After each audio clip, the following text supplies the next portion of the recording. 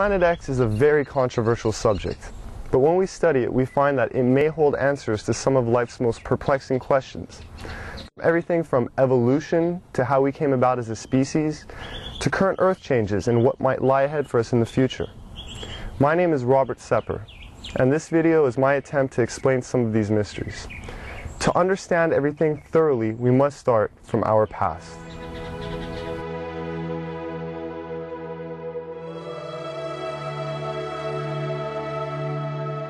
As you do research on our mitochondrial DNA, you find that it goes back into the range of 150,000 years based on the mitochondrial DNA, which is, I, think, pretty much incontrovertible.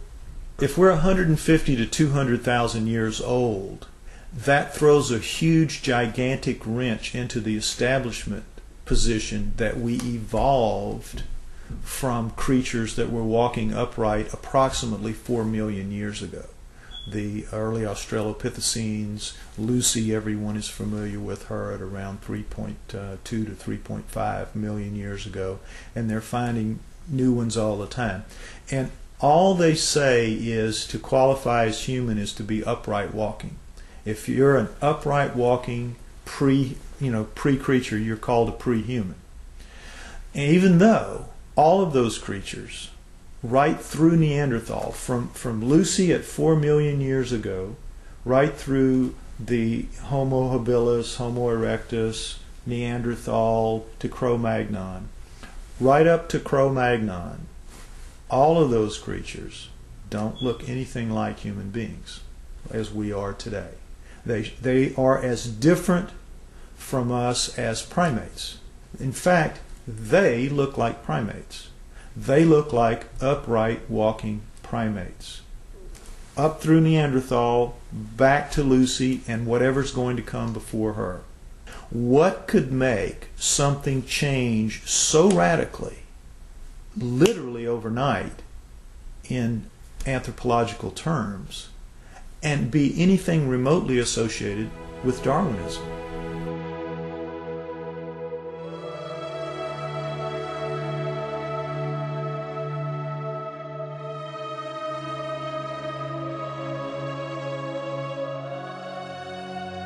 I believe personally that the writings of the Sumerians 4,000 years ago, as chronicled by Zecharia Sitchin in his books, The Earth Chronicles, I believe that is the most logical and reasonable explanation that there is for how we came to be.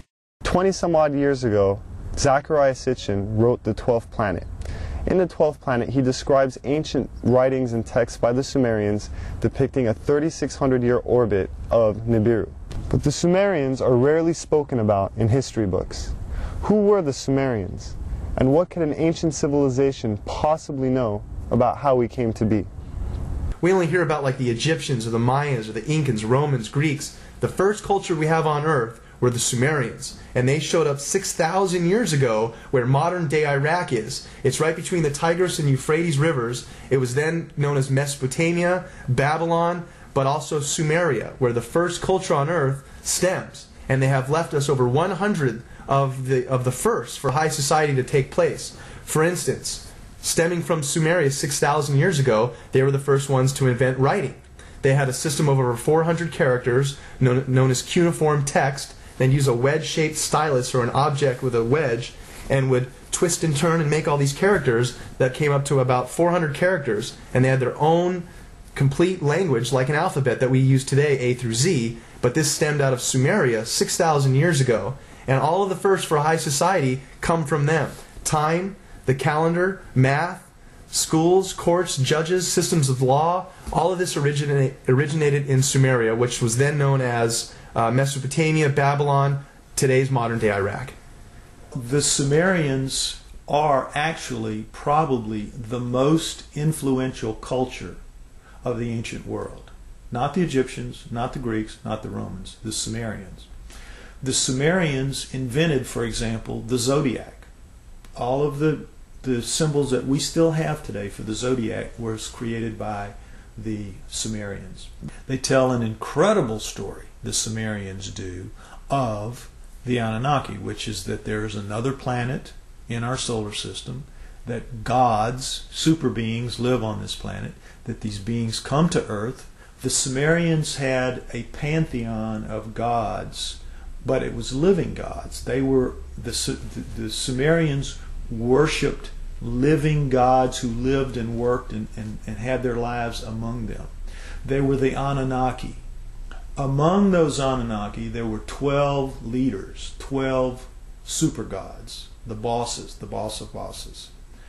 Those 12 gods come down and are present in the Egyptian culture, in the Greek culture, and in the Roman culture. They just have different names, but they have basically the same personalities and the same functions. So it, it isn't that mythology begins with the Egyptians, the Greeks, and the Romans. Mythology begins with the Sumerians. Monotheism didn't kick in until the gods, the multiple gods, actually physically left.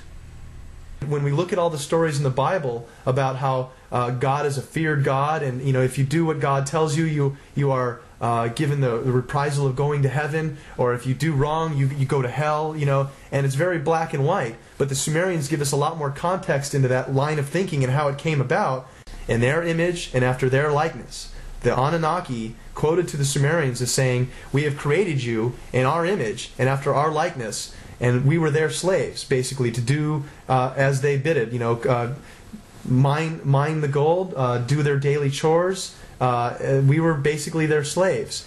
The leader said, "We'll make you a slave. We'll make you a servant," and that's the reason, the impetus, according again to the Sumerian writings, for the creation of human beings. The story of Noah is a classic that comes right out of the Sumerian texts. The word Eden, the Anunnaki called the land where they lived the Eden. Eden. Um, the Adam, they called the the uh, worker slave that they created the Adamu, plural. Could the Anunnaki have genetically engineered humans? It sounds incredible until we consider that we ourselves genetically engineer the fruit and vegetables we eat every day. From tomatoes to apples and oranges to cloning Dolly the sheep. If we can genetically manipulate DNA, then who's to say that we weren't created or our DNA wasn't tampered with by another race of beings in the past? Now the question is, were we? Did they? And if we were, there must be some empirical evidence, some clues left behind, besides writing in a text that points to this. If you look at the human genome, you'll see that it looks very much like a primate genome, except the second and third chromosomes are fused into one. So, what does that what does that solve?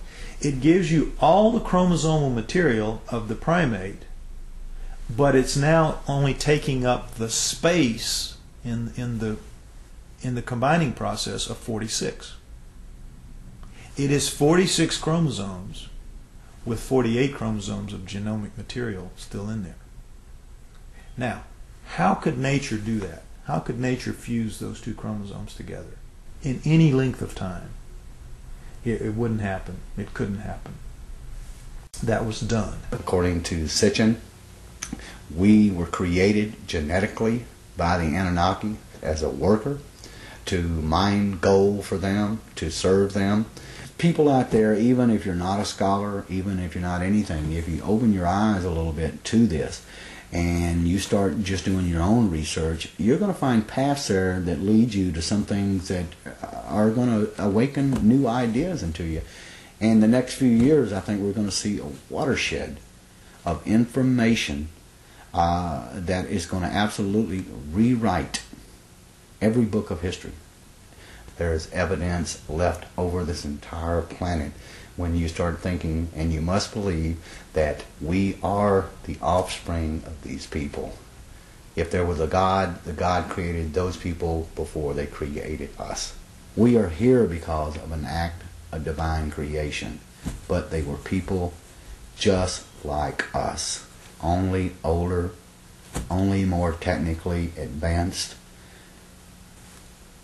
We need to rediscover that in ourselves that we are a great civilization. We came from a great civilization. And I would tell anybody to, to look, open your eyes and look for it. Don't be blinded to something that's uh, uh, led to nothing but uh, the slaughter of ourselves for thousands of years. And we still are at that point. We're still a warring society.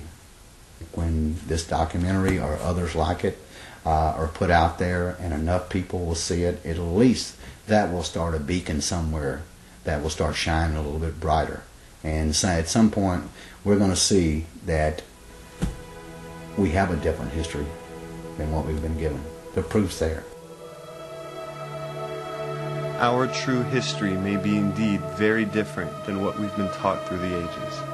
Whether this data has been withheld or our identities have just been forgotten, it is our responsibility now to rediscover who we are and where we're going.